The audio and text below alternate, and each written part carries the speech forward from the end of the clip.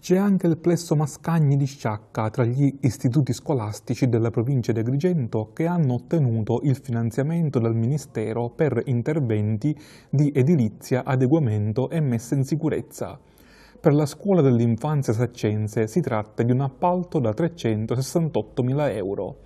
Nell'Agrigentino in totale giungono fondi per 17 milioni di euro, spartiti tra diversi comuni e strutture scolastiche.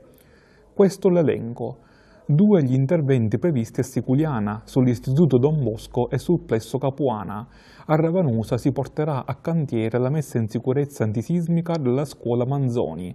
A Villafranca Sicula giungono un milione e mezzo di euro per la scuola elementare Pirandello. A Menfi un altro milione e mezzo per il Plesso Lombardo Radice. A Camastra si metterà a mano all'Istituto Rombò per oltre un milione di euro un altro milione e mezzo per il Fraffelice da Sambuca, di Sambuca di Sicilia, e per il plesto di via Giulio Cesare di San Giovanni Gemini.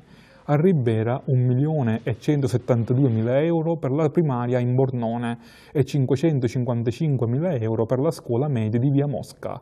A Campobello stessa cifra per la palestra della scuola Mazzini finanziate le scuole a Montevago, la Marina e la Emanuela Gravina per un altro milione e mezzo totali a Palma di Montechiaro fondi per il circolo Domenico Provenzani 687.000 euro e Raffadali con 400.000 euro per la scuola Arcobaleno. Una pioggia di soldi dunque che permetterà di sistemare molti istituti e aprire di conseguenza nuovi cantieri.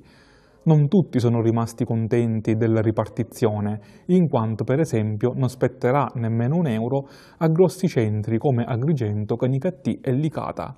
In tutta Italia saranno 1739 gli interventi di messa in sicurezza antisismica che beneficeranno dei miliardi stanziati dalla legge di bilancio 2017.